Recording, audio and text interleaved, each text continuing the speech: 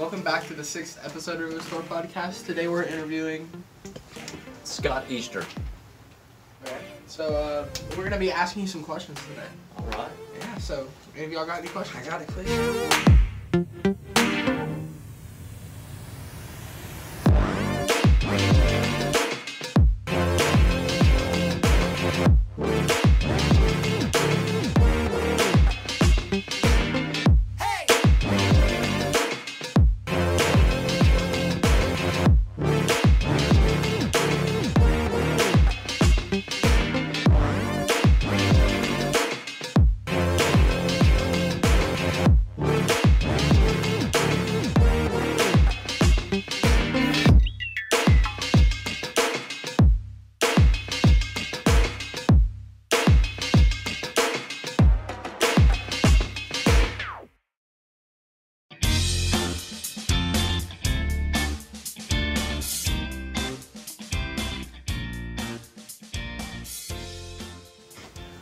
What do you do as a living?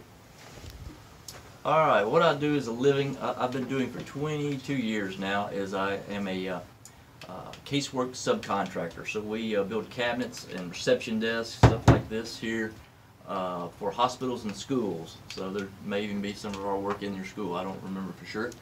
But uh, yeah, and so I'm in the, uh, I'm vice president of manufacturing and engineering. And so I manage the engineering department as well as the manufacturing operations there at uh, Steve Ward Associates in Nashville, Tennessee. Um, how, how do you get into a job like that? Just like how do you uh, just decide that's what you're gonna do?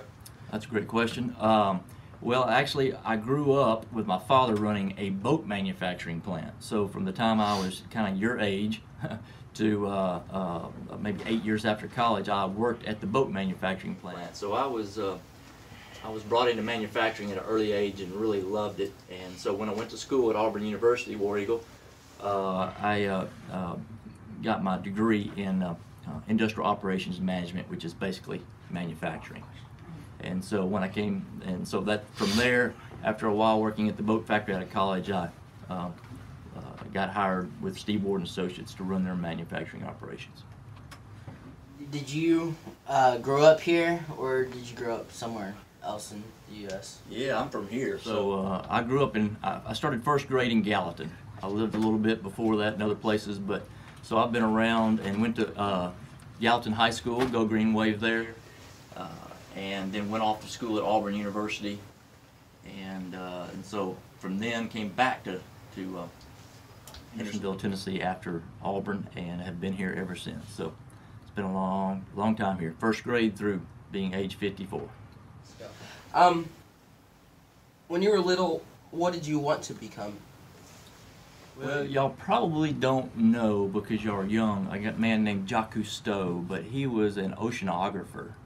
And he was on TV every Sunday night along with the uh, Mutual's Wild Kingdom, Mutual Omaha's Wild Kingdom. And so we, as a family, we used to always watch that. But we used to watch Jacques Cousteau out on the ships and discovering the oceans. And so I was pretty sure that's who I was going to be uh, for most of my life, probably until I got into college. Then uh, uh, searching which college I wanted to go to, and, and that. So, as a young kid, not a fireman, not a police officer, but an oceanographer. That's really cool. Yeah. Yep. And do you do any speaking, like anywhere else, like preaching or anything? Uh, well, I, I teach a Sunday school class for boys about your age, um, um, most every Sunday. And then uh, I do teach in a men's group every so often, uh, about the size of group that y'all were out there today um, as well. So, yeah, I do some uh, some some teaching. Do you have a Bible verse that really translate into your life? Y- Yes, I do, and thank you for asking that. Uh, as I talked about out there, um, as far as I, I lived most of my Christian life, I've been a Christian since I was 12, and uh, really um just trying to be a better Christian most of the time. And so it wasn't until about 10, 12 years ago where I really understood what the Holy Spirit meant. Uh, and that I didn't have to become better. I could seek the, the Holy Spirit to help me become uh, a person that, that uh, I knew God wanted me to be. And so that, that was greatly helpful. So the one that I, I, it's the simple one, but the one I tend to go to for that is uh, Romans 8 6, which is the mind of a simple man is death, but the mind of the mind controlled by the Holy Spirit is life and peace. And just to expand on that a little bit, when he talks about the mind of a sinner is death, he's not talking about fall over dead death. He's just talking about while you're living here, it feels like you're dead for a lot of things, like for addiction to, uh, you know, alcohol abuse, just and drugs and and uh, divorce and just bad relationships and all that come from a from a sinful mind when it's not controlled by the Spirit. But if you'll if you'll change your life over to uh, something that's controlled by the Spirit, uh, get away from the patterns of this world and be transformed by the Spirit, you will find that uh, you will find life and peace. The peace that uh, Christians talk about a lot and people have a hard time finding, that comes at the hands of the Holy Spirit. So, um, obviously, we're younger and still growing up through life, and you've kind of been where we are right now. Do you have any life lessons you may have learned along the way that you'd like to share with us to help us?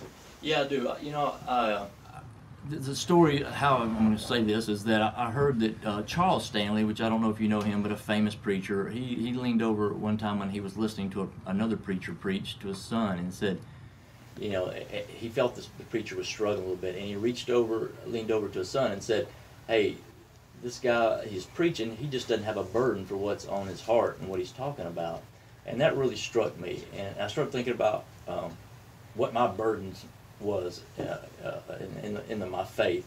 And it is uh, to reach youth at a young age, all right, that they start living, uh, having Jesus be the Lord of a life at a young age, not say 25, uh, such as me, uh, because there's a, there's a lot those are a lot of years that you miss living with the Spirit guiding you. Does that make sense? That Jesus Christ is Lord of life. So I have a great burden to bring that message to youth, uh, and that they uh, they would make these transitions at a younger age. Uh, the the benefits will change. Who you are, who you marry, who your friends are, what your life is like, will all be changed by uh, by just finding what the Holy Spirit has for you uh, and to make Jesus the Lord of your life, not just your, your Savior. This is a random question, but whenever you were growing up in like high school, college, did you ever play any sports?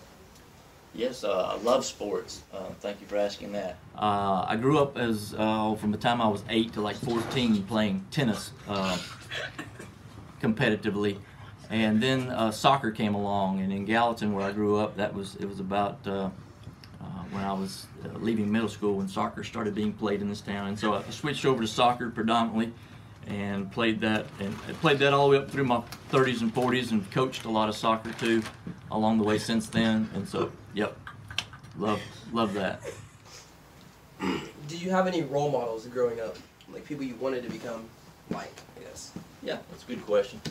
Uh, let's see. Growing up early on, you know, I was, uh, you know, like I said, I was in tennis early on, so I had uh, had like sports and and uh, idols like John McEnroe and those kind of things uh, back in the day. Jimmy Connors. I don't know if y'all are too young to know those guys, but those were my sports idols. And then uh, later on in, in life, uh, I guess once I got married and things of that nature, I have one guy that really influenced me, and is named Alan LaGarde. I don't know if you're familiar with him or not, but uh, he was the first man I had been around in church that really lived the Christian walk. I could see his life was truly about others. He uh, lived in humility, and you know that was the first time I realized that there was a there was a life being lived that I was not living. And so Alan LaGarde, LaGarde to this day is, is still a, a very important man in my life. Uh, another one is Robert Lewis, who is the uh, founder of men's fraternity that I that I a group that I am. Uh, he's a pastor, and he has really really taught me how to be a man, what a man is. Uh, and so I, uh, Robert Lewis would be another very influential person in my life. When did you meet Christ? I met Christ uh, at First Baptist Church Gallatin when I was 12 years old. Uh, that's when I walked the aisle, and um, uh, like I said, at 12 in, in Gallatin was when I met him. Uh, and it, it did change my life for, for a vast part, but at that point, I really didn't make him the Lord of my life. Yes, I was different and felt different, and I felt like I was more of a good person because of that. But until I really started making uh, Jesus the Lord of my life, not just the Savior of my life, um, did my life truly change uh, to where I um, felt Him move in my life. So where do you, where do you go to church? Uh, I've been a member of First Baptist uh, Hendersonville uh, since 1990, I believe is the date that I've been a member there. Um, what is your favorite sport and song? Two completely. Sport and song. yeah, my favorite sport, uh, especially to watch at these days, is uh, soccer, but not just soccer. It's the English Premier League. I don't know if y'all are familiar with that, but uh, my favorite team is the Tottenham Hotspurs. Uh, go Spurs! Uh, but uh, so that's that. But I love college football, being obviously an Auburn graduate, and, and NFL football only because I play fantasy football. I don't know if any of y'all play fantasy football, so Yeah. Yeah. that forces me to watch the NFL. And so I, I do like my I do like my sports. Now my favorite song, um, Sorry. I am I am a, I love music. So uh, my favorite song uh, is what is it? Billion by I'm trying to think of his name. Um, oh, I can't think of the name of the artist uh, right now. Oh well, can't think of the name of it. Uh, but you you probably hear, hear it a bunch on there. The other one I love is uh, uh, "Give Me Your Eyes So That I Can See." Uh, what is that by Rick? no, Not Rick. Some, something Barnes, I think. But anyway, so I don't have a I, I, I don't have a, a good title for you. Sorry. You gotta the most for it. Sorry. it's like, what's your favorite food and family member? okay. That's probably Well, nothing on your You have another one, or you have another? What's your favorite color in TV show? What's your favorite sports team?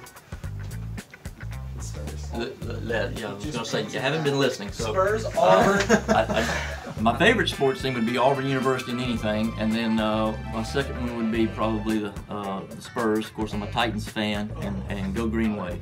So You're not asking any more questions. So that's all the time we have for today. Thank you for tuning in to episode six. okay, that's it.